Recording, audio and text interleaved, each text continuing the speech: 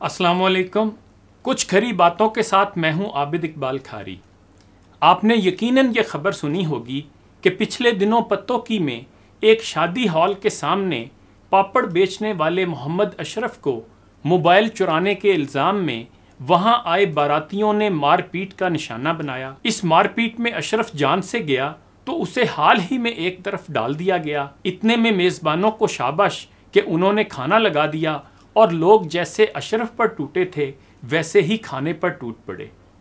इस पर एहसानुर रहमान साहब ने लिखा है कि मेरा बस चले तो मैं शादी की तकरीब में आई।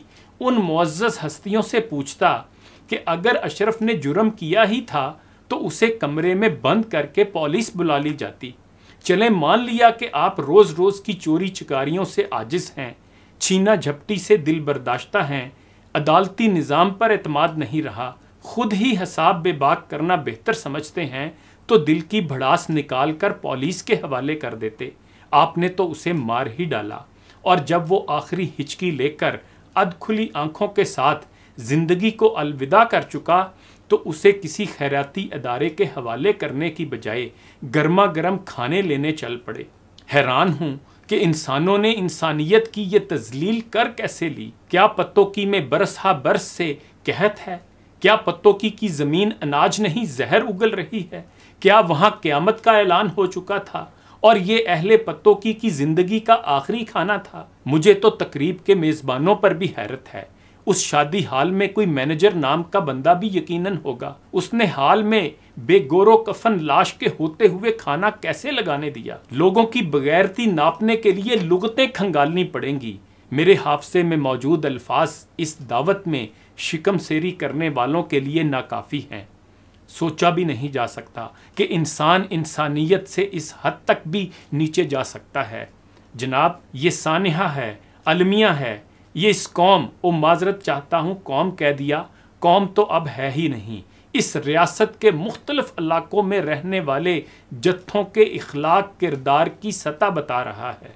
चंद रोज़ पहले सखर में हिंदू बरदरी से ताल्लुक़ रखने वाली दोशीज़ा पूजा कमारी को शादी से इनकार पर घर में घुसकर कत्ल कर दिया गया। 10 मार्च को नूरपुरा मियावाली में सफाक बाप ने अपनी सात रोज की बेटी के बालिश भर के बदन में सात गोलियाँ उतार दी। गुलशन रावी लाहौर में कचरे के ढेर से नौमौलूद बच्ची की लाश मिली, जिसे कत्ल करके कचरे में फेंका गया था।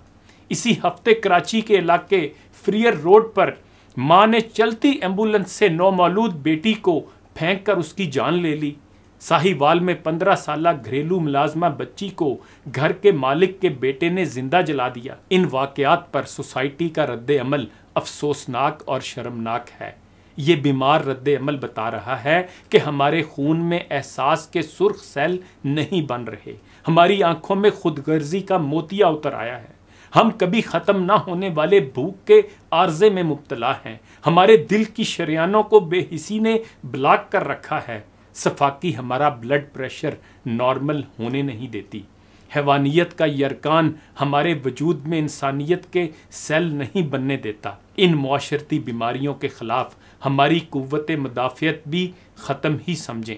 अब हम सिर्फ़ देखने में ही इंसान लगते हैं। हमारे तौर तरीके जानवरों से भी बदतर हैं। और जुल्म ये कि हमारा नफसियाती आर्जा ये तस्लीम करने पर भी तैयार नहीं कि हम बीमार हैं। सोच रहा हूँ कि मुल्क दिवालिया हुआ या नहीं, इस पर दो राय हो सकती हैं। लेकिन सोसाइटी के दिवालिया होने में कम अज़ कम अब तो दो राय नहीं रही। सच यही है कि हम तही दस्त हो चुके हैं।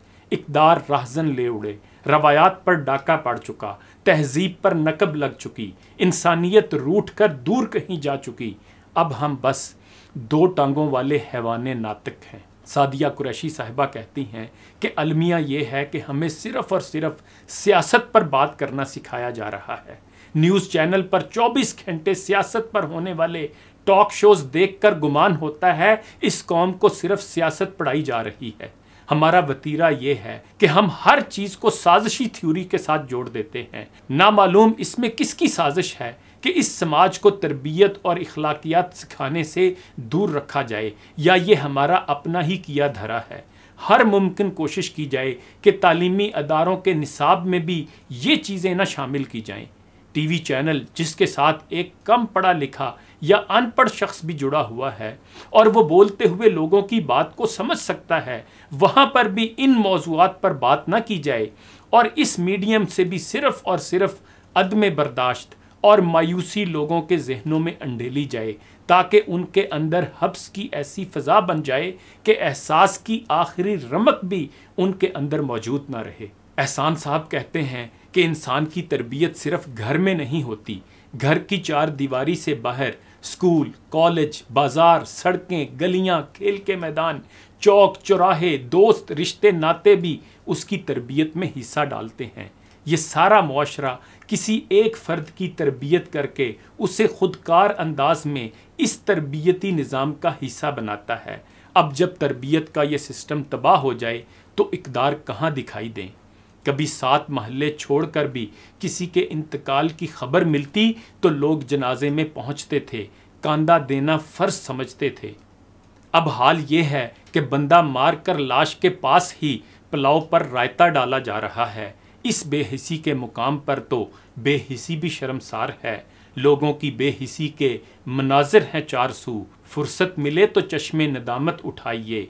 इन्हीं गुजारशात के साथ आबिद इकबाल खारी को इजाज़त दीजिए। अपना ख्याल रखिएगा। अल्लाह हाफिज़।